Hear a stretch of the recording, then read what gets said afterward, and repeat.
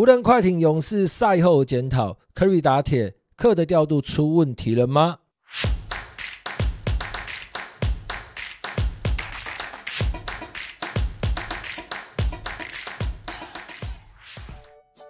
？Hello，你好，我是江尼。今天是一月八号，咱们来关心 NBA 赛事的部分。今天我们主要会讨论三场比赛，那就是湖人队快艇、勇士队暴龙以及太阳队灰熊。不过这里要注意的是，太阳队灰熊我们会着重在讨论灰熊的部分，而不是太阳队。毕竟目前太阳队的胜率还是有五成的。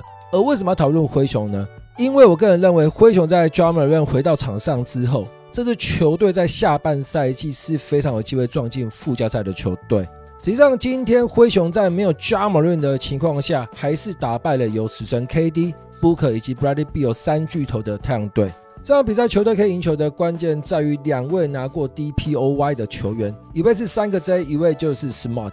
其中三个 J 在第四节关键时刻的这一颗进攻篮板非常的重要，因为这也让队友 Ben 有一次三分球出手的机会。而且他也把握住了，在接下来三个 J 自己也单打 Nugget 成功，这个球难度老实说非常高。而在两位年轻球员都有好表现的情况下，身为球队老大哥的 Smart 表示：“我也是拿过 DPOY 的球员，这次 Bradley Beal 想要单打他，是直接被他把球给点掉。而这一次关键的防守也帮助灰熊队在客场拿下重要的一胜。这里我们要注意的是，虽然目前灰熊队的胜场数只有十三场。”而且球队胜率也不到五成，可是问题不大，因为勇士在输掉这场比赛之后，其实胜率也不到五成。实际上，目前排第十名的湖人队胜率也没有五成。另外，更重要的是，目前灰熊跟湖人也只差四点五场而已，而整个例行赛还有超过一半以上的赛程，所以站在灰熊的立场，当然是大有可为的。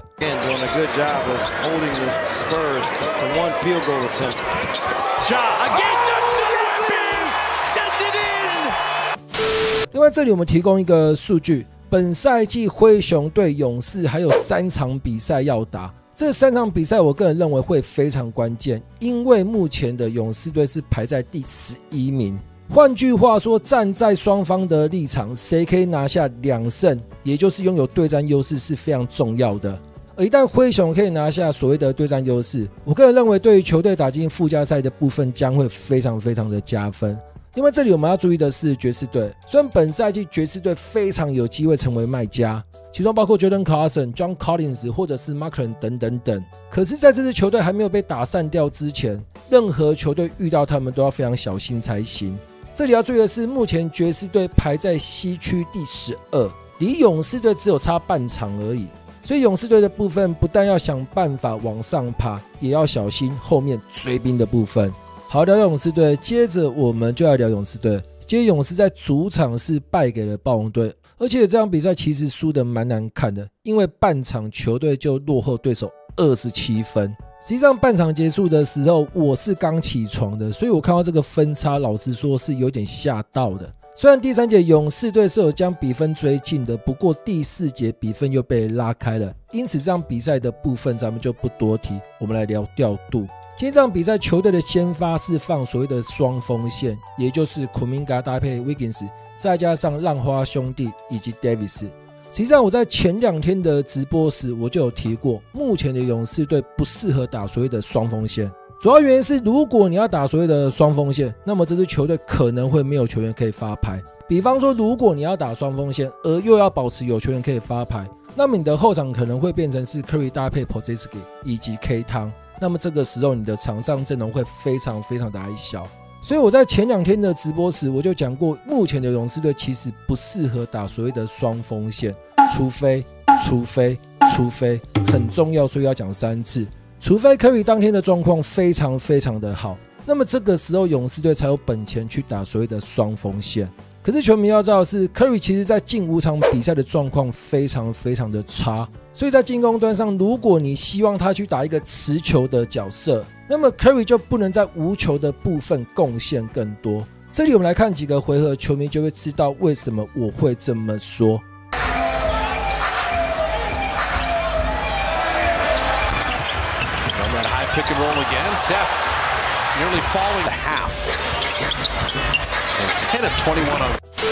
好，以上这几球都是科比在今天出手的画面。我们是不是很少看到所谓的无球？基本上他都是自己单打，或者是在一个掩护之后直接跳。这里我想要讲的是，你要叫科比这样打不是不行，可是他就没有时间去跑无球。另外，这样的打法其实非常吃科比的体力之外，也非常吃他当天的状况。更重要的是，今天科比的部分是打铁的，所以勇士输球没有问题。而看完这几个回合之后，相信球迷应该就可以了解为什么我会说目前的勇士队不适合放所谓双锋线的原因了吧？主要原因是这几位所谓的持球者，不管是 Wiggins，不管是 K 汤，不管是库明嘎，他们虽然都有自主进攻的能力，可是，在组织的部分，他们的能力跟嘴率还有 Chris Paul 是不能相比的。所以，球队第三节的先发才会放上 Pozinski。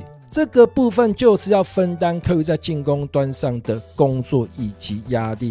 实际上，第三节 K 当的几颗三分球就是无球跑出来的，而为球的球员就是 Pozinski，又或者是 Corey Joseph。看到这里，相信球迷就会明白为什么勇士场上一定要一个发牌者的原因了吧？毕竟这支球队藏起来的打法球风就是如此。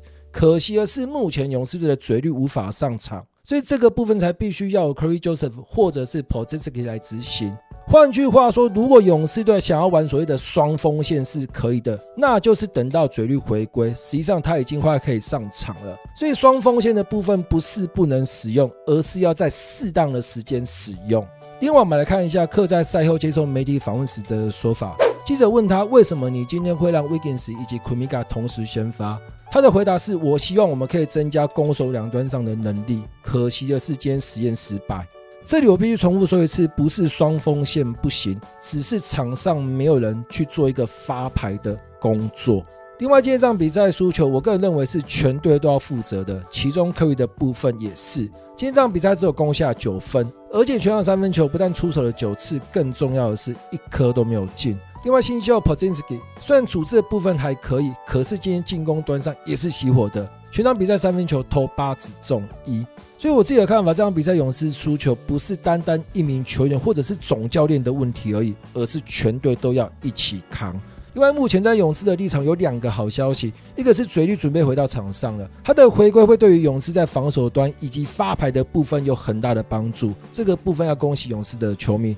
另外，Quispo 的部分预计要休四到六个星期，换句话说，二月的时候就可以回到场上了。不过，他的部分勇士会不会把他交易走呢？也是球迷可以观察的地方。而如果你问我的态度，我是希望勇士可以留下他，而把目前状况比较差的 Wiggins 送走。聊到交易，就这么刚刚好。今天勇士队的对手是暴龙队，而暴龙队的 Pascal Siakam 就是目前勇士队潜在的补强人选。不过这里要注意的是，根据记者的资料显示，如果勇士队不送出 Kuminga 的话，那么这笔交易可能非常难成立。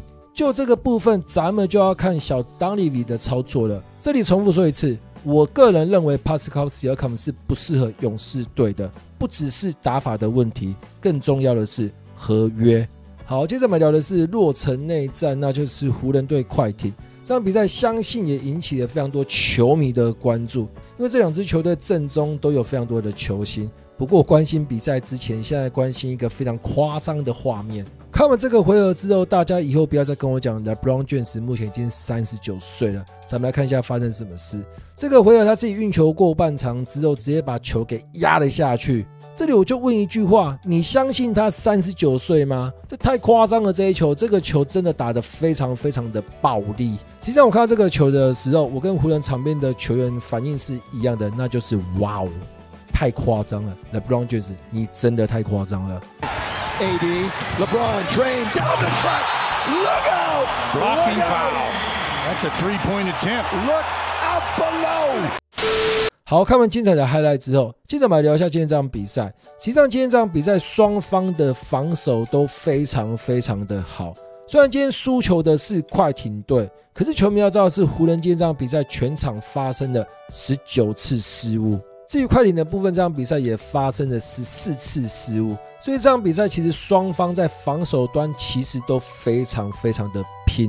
实际上，今天这场比赛湖人队可以赢球的关键，除了 LeBron James 跟 AD 这双星的组合之外，我想要聊的是从板凳出发的 D'Angelo Russell 以及 Prince。这里我们先聊地漏的部分。全部要知道是今天 AR 是熄火的，全场只有攻下八分。可是目前从板凳出发的 D'Angelo Russell 这场比赛是攻下了十三分。虽然整场比赛他的投篮命中率不算理想，可是这里要注意的是，在第四节的前段，他个人连得五分的部分是帮助球队非常非常大的。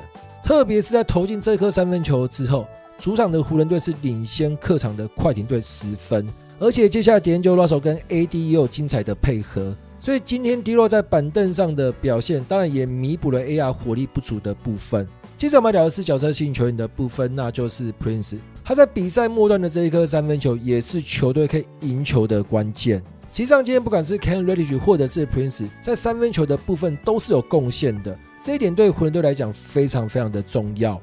另外，这里我们必须聊一下从板凳出发的 Christian Wood。虽然全场只有攻下九分，可是他拉下了十个篮板，其中九个是防守篮板。而且在防守端的部分，他不但盖了威少火锅，也盖了 Zubaz 的火锅。所以这名球员在八村也不能上场的情况下，不但得到了上场时间，更重要的是他的表现其实并不差。换句话说，未来当八村有回到场上的时候，总教练 Ham，你千万别忘了。你的板凳上还有 Christian 的可以使用，他是一名会投外线、会得分、会拉篮板，同时也会防守的常人。现阶段看起来，湖人队在把 AR 拉回先发之后，轮换名单的部分大致上也都确定了。这里我想要跟 Ham 讲的是，轮换名单的部分，希望你不要再改了，特别是先发的部分，否则不但球员会无所适从，另外球迷也会非常的不开心。另外，今天这场比赛，湖人在场上一度是放双后卫加上双塔，搭配上 Vanderbilt。实际上，我个人蛮希望看到湖人队多使用双塔的。毕竟，Christian Wood 在进攻端其实是一个蛮百搭的常人。另外，AD 在禁区的终结能力是毋庸置疑的。好，接着我们来聊一下快艇队。快艇这场比赛其实是可惜的，主要原因是阵中的主力球员投篮命中率都不算理想，不管是 James Harden 或者是可爱，甚至是 Paul George 都是如此。因为板凳暴徒能不能跑在今天的投篮命中率其实也不算理想，所以球队输球合情合理。可是今天快艇队虽然输球，不过有一个调度是值得讨论的，那就是比赛时间还剩下两分四十秒左右，总教练泰隆路是把可爱给换下场，放上 Terry Man。实际上当下我看到这个调度的时候，我以为是可爱受伤了，可是最终的答案并不是如此。因此，我们就要就这个调度来稍微讨论一下，那就是在关键时刻，为什么你把拿过 Finals MVP 的可爱给换下场？我自己的看法比较简单，那就是刚好提到可爱今天的状况其实不算理想，全场投十七只中六，所以站在总教练的立场，也许是因为这样的原因，所以暂时把可爱换下场。可是这里我想要讲的是，Terry Simon 在今天的表现其实也不算特别好，全场投五只中二，只攻下六分。所以如果今天是站在进攻端上的立场来看，你用 Terry Simon 来换可爱好像是不成立的。另外防守的部分当然就更别讨论了，毕竟可爱是拿过 DPOY 的球员，而且在第四节关键时刻，他其实并没有所谓的犯规麻烦。所以总教练汤路在关键时刻的这一次调度。相信一定也会引起很多球迷的讨论。我自己的看法是稍微有一点点看不太懂，除了可爱当下人是有点受伤的状况。如果有这样的状况，当然就另当别论。最后，总教练泰隆路接受媒体访问时表示，因为快艇八天要打五场比赛，而且可爱的上场时间是有限制的，因此他才会做出这样的决定。就这个部分，我自己是不能接受的。毕竟今年的西区竞争非常的激烈。第二点，如果你真的要让可爱休息，那么比赛做二十秒的时候，为什么你还要再把它换上场呢？简单的说，就是这场比赛你也认为非常重要，因此你才会再次把可爱给换上场，不是吗？所以就汤姆的说法，我个人是不能接受的。可是没关系，反正输球的责任总教练扛，我们负责评论跟看球就好。实际上，快艇虽然在今天输球，可是战绩的部分还是可以保持在西区前四名。就这个部分，当然要恭喜快艇队的球迷。另外，接下来除了观察战绩之外，也要观察总管怎么操作交易。毕竟 PJ Tucker、b o u n c h a n 目前都是用不到的，因此就这个部分也是未来我们要重点观察的地方。好，以上就是我个人对于湖人、勇士、快艇、灰熊的一些想法跟看法。至于你有什么想法跟看法呢？记得留言告诉我，让我们轻松聊 NBA 吧。拜拜。